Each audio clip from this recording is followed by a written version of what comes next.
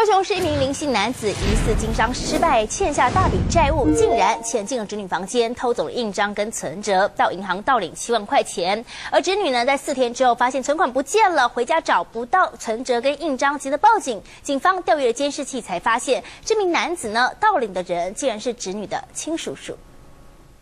戴着眼镜、理着平头的男子，拿着侄女印有可爱芭比娃娃封面的存折，来到银行，神态自若的要求领钱。侄女的那个存折不是国小的时候办的，那时候不需要密码。没想到领了一次还不够，隔了一天，男子穿着同一套衣服又来到银行了。这次他竟然把侄女账户里的七万块钱都给领光光。在大陆经商失败，在外面已经积欠很多很多钱了，已经走走投无路了，才会哎发现有这个。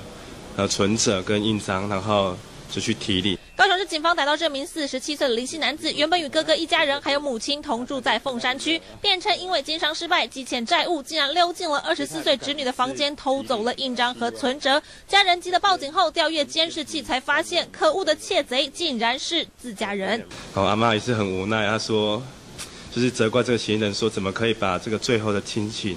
给把他打坏，只因为没钱还债，竟然把歪脑筋动到了家人身上。林姓男子被逮后相当自责，年迈的母亲和疼爱他的哥哥都非常失望。中天新闻梁家文张信高雄报道。